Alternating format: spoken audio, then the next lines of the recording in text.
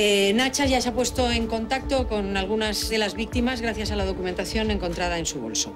También hemos hecho circular su imagen para que alguna víctima que haya por ahí se anime a denunciar. ¿No es así, Merche? Sí, el caso ha despertado la curiosidad de varios canales de televisión nacionales. La chica va a salir hoy en todos los informativos. Así que después de salir en los informativos, imaginaos que nos van a llegar denuncias de cualquier parte de España. Al parecer, su modus operandi consistía en cambiar de caladero frecuentemente para no cruzarse con sus víctimas dos veces. Y hablando de las víctimas de esta tipa, ¿dónde está Tony? Eh, a Tony le he mandado a su casa una semanita.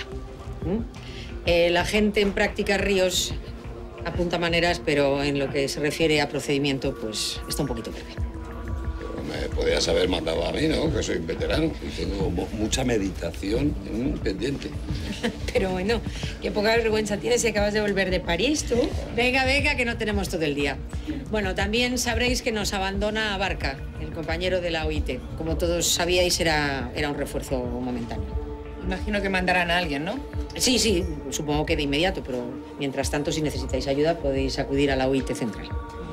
Ha corrido el rumor de un supuesto programa de televisión que viene a grabar a la comisaría, ¿es cierto? Pues mira, Espe, eso era el último punto del día, pero nos informa Merche. Sí.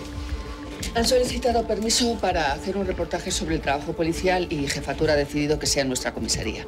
El formato va a ser tipo docu-show, es decir, que van a rodar escenas realistas y naturales. Cuando os encontréis las cámaras por ahí, pues actuad como si no estuvieran. Pero van a hacernos entrevistas y eso. La periodista se infiltra en el día a día de un profesional interesante. En nuestro caso, el programa se va a centrar en un policía en concreto. ¿Y quién va a ser el pringao? Pues tú. Eh, tú vas a ser el protagonista de ese programa de televisión.